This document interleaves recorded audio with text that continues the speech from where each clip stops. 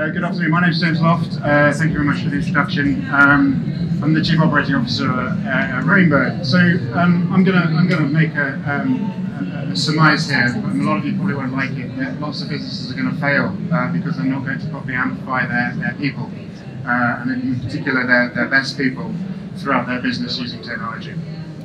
Um, we are of a firm belief that the only way that organisations future-proof uh, themselves is by taking a balance of technology uh, uh, and the, and your best people. So it's absolutely brilliant to hear the end of the, the, Wells Fargo talk there about the importance of human because everything we do at Rainbird is, is built around codifying human expertise and, and, and, passing it out around the business. So we have an interesting view of AI at Rainbird, and I'm not here to uh, sort of uh, theorize or anything like that. This is a, a, a very applied stage. So, um, but I want to share with you um, what we believe AI to be and what the journey for AI is in our view, and why it's important to be based around four things. So, these are our pillars uh, of human-centric automation. Um, and they are pillars, uh, and each one matters in our view as much as all the others. So education, and that's a very easy word to use. What do we mean by that? Education in not just new technology, not just new skills, but ways, new ways of thinking around the change of technology in large organizations, in small organizations, um, but really looking at how we start our journey with those who are still in education today about the, the, the work style of the future uh, and giving new tools, not just, not just new ways of thinking, but new tools um, to tackle the problems that they may face in that world, not just making sure that everyone's a coder. Automation we, we see this as one of our core pillars, and I imagine many of you many of you do. Um, automation is important to us uh, for a number of reasons. Um, automation is freeing people's time up who have been bogged down by um, the operational elements of what they do and what they become specialists in. So for us, automation is a key element in that set of pillars about allowing organizations to take that, that next step and, and really transform. Regulation, we can't ignore it. I'm not going to make any bold statements like the regulator's coming. Um, we all work in uh, some form of industry that is watched or, or, monitored in some way. Some of us in, in, in um, industry, certainly in financial services, that are more closely watched. But regulation is about more than that, eh, we believe, in this context. It's about um, all of these words you see. I mean, up here, um, explainability is, is such a word which means so much within within our regulation piece. And finally, transformation. It's um, we've been uh, going as an organisation for six years now, and um, it's been really interesting to see how um, at the beginning of the AI piece uh, in, in, the, in the recent push, everyone forgot everything they'd learned about digital transformation over the over the past years and sort of went, oh, new technology, let's play with all of them, and sort of forgot about the wider context in which it's sitting. So transformation, if you like, wraps up all of our pillars, but in, in many ways it, it's about making sure you know where you're going um, with your intention of, of, what you're doing with the technology as much as anything else. So, huh, you need a toolkit, right? That's, that's all you need. It's that simple. And out there, out those doors, in essence, is the world's best toolkit in AI. Um, I think we're all familiar with the phrase "a bad workman blames his tools," um, and I think one of the things that, that's very, that's very dear to us is about making sure that we get the right balance when we're looking at the tools available to people. So yes, there are great tools for doing certain parts of what you're trying to do, but it has to fit uh, alongside other tools, but also alongside the expertise that you hold within your organisation already, the specialisms you, specialisms you hold, um, uh, and really how you how you run your business. So um, I think it's fair to say that there are uh, the wrong tools out there if they're used in the wrong way, or there's great enablers um, if, if, they're brought together in a way that's, that's um, in line with, with, where the business is, is functioning uh, and how the humans in and around them interact. Um, so we, we thought about this and we thought um, we thought about the best way of, of creating Rainbird that supported what organizations are trying to do.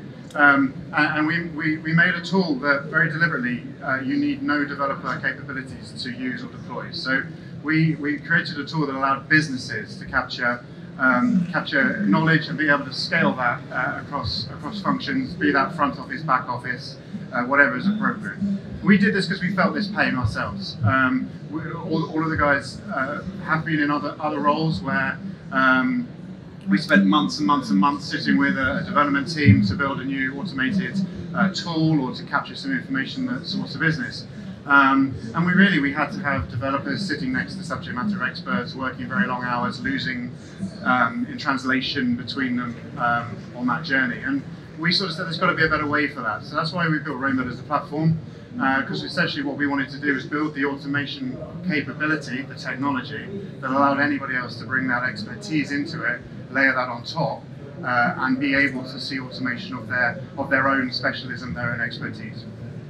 So what does that look like? Um, well, I talk about a, um, a business user um, capability, uh, and in a, a, really rather crude way, this, this is a screenshot of our, of our editor, uh, our graphical editor, and this is how you capture knowledge within Rainbird. So there's no code here at all in any way. Um, so really it's somebody who is either a subject matter expert in their field or somebody who works very closely with them can capture that information into the system.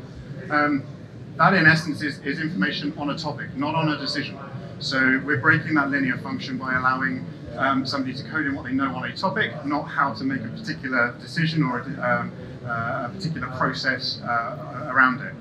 Um, that comes with its own challenges, and that's why that's why education is such an important part of this because people are um, very linear thinking people um, and uh, have been doing things in a certain way for a very long time. So um, part of what we enjoy actually with, with Rainbird and, and, and working with our clients is how we actually get people to really see their topic that they deal with every day in a, in a different way, in a, in a non-linear way, and they actually see how powerful what they already know as an organization can be. Um, so what, what is automated decision making in, in our view? Uh, well, um, within this platform, uh, we've built something that doesn't need large amounts of data uh, to use it. So um, no, there is no need to have a large data set to start with in getting the benefit out of this particular automation. And what we mean by that is we're taking the other the other end. So um, rather than a data up approach, we're starting with a human and we're coming down. So we're capturing the knowledge of those humans and, and, and, allowing that to work across. That, that doesn't mean we can't connect it into data sources. That doesn't mean you can't benefit from data if you have it. It's just that the data is not the fundamental layer within which uh, automation is coming out, out of using Rainbird. Um, we're, we're beyond RPA. What do we mean by that? We, well, um, we're breaking the linear function of automating uh, using Rainbird. So by not telling Rainbird how to make a decision, but in fact telling Rainbird about a topic, and then allowing Rainbird to pose questions to that topic, what we're actually doing is we're breaking, um, breaking that linear piece, which allows us to do uh, a lot more gathering of um, edge cases or the long tail, if you like, of automation, which is that low volume, high complexity topic. So being situational allows us to ask the questions in a way which allows us to, to capture a lot of that, that piece. Um, I loved the, if anyone was in the room before, loved the, the maps analogy. That's actually one we use every day at Rainbird. Um, the best way to think about Rainbird is exactly that. We haven't written the rule to get to every single point in the world, to every single point in the world. We've told Rainbird how roads work. So when you say, I want to go from here to here, Rainbird looks at the rules of the road and tells you how you can do that. Now, if the road's closed, Rainbird will find a way around it. So uh, saved my analogy there from Wells Fargo, but, but yeah, absolutely something we use every day. Um, full transparency. So we are very proud of the fact that we are based on a rules uh, a rule set. So what that gives us, it gives us the opportunity to give scalability within a set of parameters of the rules that into the system. So that allows us to be able to 100% explain on each case uh, what the impacts and what the elements being pushed into the system were in order to make the decision. So if you're in a regulated environment, we can articulate end to end, um, not just what information was involved in making the decision, but actually where those different pieces came from. So if a customer inputs a piece of information into the system, we can highlight that and show that the, uh, the mathematical impact that had on the overall decision. Uh, and finally, um, we, we, got the opportunity to uh, automate high value decisions. So I've talked about this sort of highly situational piece. Uh, and really, um, what, we're seeing here is it's things that were traditionally the handoffs, the anomalies, uh, the things that needed a human to go and, and do some kind of investigation into. Um, so actually what we're seeing is a very interesting thing. So when we talk about the practical application of Rainbird, what we're seeing is, yes, we're automating tasks, yes, we're automating volume for people, but actually we're freeing people back up to be specialists again. Uh, and it's a really interesting thing to see because we're hearing uh, time and time again where people are really owning and being very, very proud of the their, specific, their specific knowledge for their field that they're capturing into the system.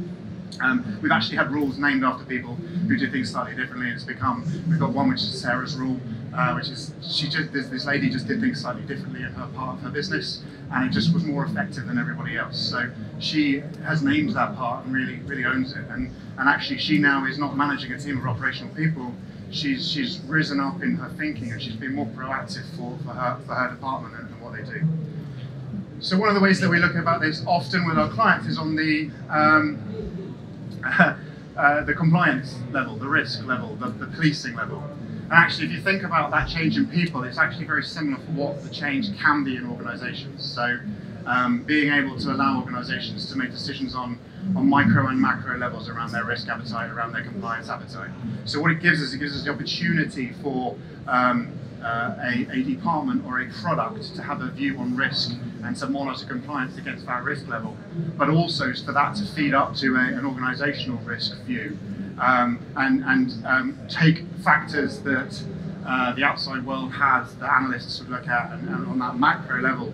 Um, and really, what Rainbird is, is very capable of also doing is looking in on itself and looking at all of those pieces. And if, if a board is going to meet for a large bank and discuss their risk appetite, Rainbird can actually take the information and point out to that board what are the things you should be talking about to make sure that you're properly deciding what your risk uh, level is from an organisation. And once you've done that, the great thing about Rainbird is connected, that can come back down to all of those products, all, all of those departments, uh, and can be immediately fed down from the risk appetite of the organisation.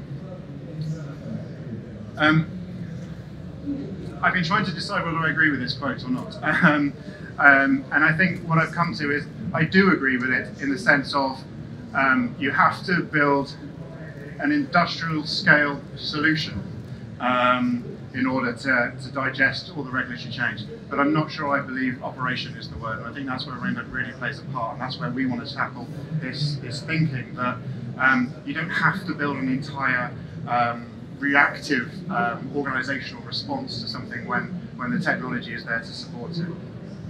Slight change of tack and a little bit of a, a plug. Um, we won an award last night, um, the AIconics Award um, for Best Application in Financial Services. You could have, it's fine, you don't have to applaud, it's all right. It's um, and we won that for a particular use case, uh, which is which is fraud. Uh, I just want to spend a minute just talking a little bit about what what that use case is and, and how it came across. So fraud, um, and actually in this case, we, have done fraud across lots of different parts of financial services. Uh, we've done it in um, uh, uh, bank cards, we've done it in um, online payments. Uh, this particular case is in credit card. So in essence, if you think of the scene, um, uh, as a consumer, uh, you get a text message, uh, some, there may be some fraudulent activity on your card, etc., etc. Please phone us up with some information, answer these questions on text message if you're lucky to have that service. But what happens is there tends to need to be some kind of interaction with a, with a customer. We uh, have built a system uh, with, with, one large um, credit card organisation in the UK um, where we have looked at how the humans would have run case management after a detection and we've codified that into Rainbird. So Rainbird now looks at that um, uh, straight away after a detection is raised uh, and investigates uh, further in the way that a human would have done. Um, that's massively reduced the amount of time it takes. There's no SLAs anymore. Um, uh, there, there, is no need to hand off further. It's really brought a lot back into that, uh, that entire operational piece. But what's that given uh, people? Well, it's given them a, a, frictionless customer experience, and I think this is really important. It's easy to forget when you're talking about a back office process, but um, there's a huge likelihood if you have a, um, a, a fraud alert uh, that you are less likely to use the card that the fraud alert was on for a period of time. So as much as it's horrible to read a text message, there's actually a, a final, potential financial impact to that organisation on, on even there not being fraud, but there being a potential flag of it. Um, it's allowing us, and if you, if you remember I mentioned about these opportunities where humans have um, uh, be, be, sort of lifted up from the operational um, and um, can, can, look in the wide, wider environment again. Actually, what we found by deploying uh, Rainbird in this instance, and actually deploying Rainbird looking at itself in this instance, is Rainbird has also started picking up new patterns of fraud. And if you think of this environment to date, the only way we really were able to combat new types of fraud is when they happen to us, and then we would learn and we would adapt and we'd make that change. This is bringing that alert far earlier to a collection of people who are not bogged down in operational pieces of work. So they're more proactive, the system's giving them the flags they need to investigate, and they're responding better to new types of fraud a lot quicker. Um, yeah, um, so uh, obviously that gives gives um, people the, the, opportunity to look at um, things where there's, there's a wider or a, or a larger um, value. And when you think about a lot of the, the movement at the moment in fraud, where repayment on behalf of the, um, bank, on behalf of people who've been defrauded, there's a pressure for that to build. This is becoming more and more important for, for, for solving. Um, finally, I've mentioned it before, but just just think about for a second in the context of fraud what that means. Um, we're giving the organisation the ability to uh, go back and, and, and record within their systems the elements that they made to determine if something was or wasn't fraud. So if they ever needed to defend that or learn from it in some way, that's a full uh, depicted tran uh, transaction of, of, how they got to that piece of information.